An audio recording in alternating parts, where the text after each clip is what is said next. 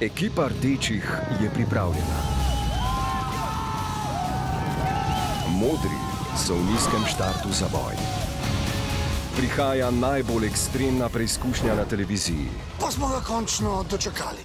Exatlon v ponedeljek ob 19.45 na planetu.